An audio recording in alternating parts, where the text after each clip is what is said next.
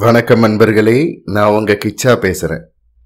உடம்பிலும் வலி போச்சு மனசிலும் வலி போச்சு.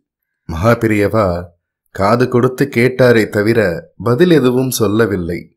தன் கழுத்தை தடவிக்கொண்டே உள்ளே போய்விட்டார். யாரோட உடம்பு வலி சரியா போச்சு? அதனால யாரோட மனசுல இருந்த வலி சரியா போச்சு?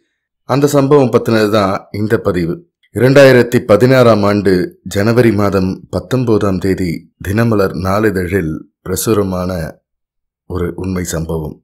அந்த சம்பவம் பற்றி மேலும் நம்ம தெரிஞ்சுக்கிறதுக்கு முன்னாடி நம்ம சேனலை சப்ஸ்கிரைப் பண்ணாதவங்க கண்டிப்பாக பெல் ஐக்கான் கிளிக் பண்ணுங்க சப்ஸ்கிரைப் பண்ணுங்க.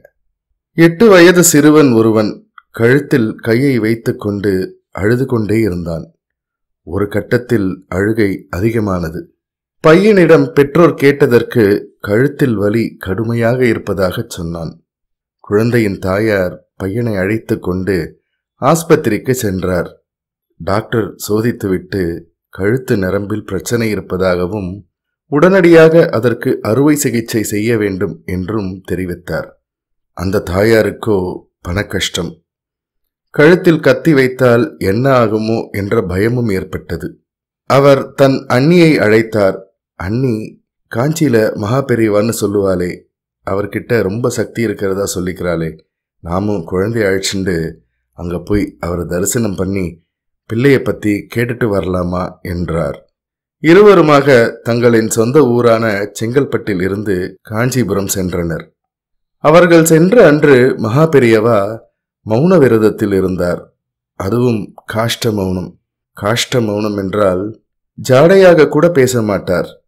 இவர்கள் மகா பெரியவாளை ஒரு வழியாக தரிசித்து பிரச்சனையை சொன்னார்கள். அவர்கள் சொன்னதை காது கொடுத்து கேட்டாரே தவிர பதில் எதுவும் சொல்லவில்லை. தன் கழுத்தை தடவிக்கொண்டே உள்ளே போய்விட்டார் மகா பெரியவா. அந்த பையனின் தாயாருக்கு மிகவும் ஏமாற்றம். ஒரு வார்த்தை கூட பேசாமல் ஜாடை கூட காட்டாமல் சென்று விட்டாரே என்று வருத்தப்பட்டார்.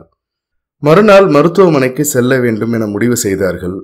அந்த முடிவின்படியே மருத்துவமனைக்கு சென்று அறுவை சிகிச்சைக்கு தேதியும் குறித்து விட்டனர் திடீரென அந்த சிறுவன் அம்மா தொண்டையில் என்னவோ போலிருக்கு என்றான்.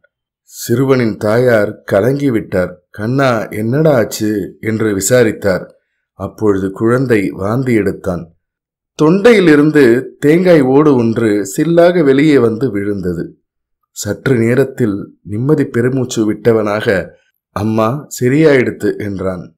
என்றாலும் மறுநாள் மருத்துவமனைக்கு போனார்கள். டாக்டர் கழுத்தில் கை வைத்து அழுத்தி வலிக்கிறதா? என்று கேட்டார். கொஞ்சம் கூட இல்லை என்று பதிலளித்தான் சிறுவன். அறுவை சிகிச்சை தேவையில்லை என்று டாக்டரும் சொல்லிவிட்டார். பையனுக்கு உடலில் வலி போச்சு. பெற்றோர்களுக்கு மனசில் வலி போச்சு. அதன் பின் அந்த குடும்பத்தினர் மகா பெரியவாளின் நிரந்தர பக்தர்களாகிவிட்டனர். ஜெய ஜெய சங்கர ஹர ஹர சங்கர. இந்த பதிவு உங்களுக்கு பிடிச்சிருந்தா லைக் பண்ணுங்க ஷேர் பண்ணுங்க கமெண்ட் பண்ணுங்க. மறக்காம பெல் ஐக்கான் கிளிக் பண்ணுங்க சப்ஸ்கிரைப் பண்ணுங்க. நன்றி என்பர்களே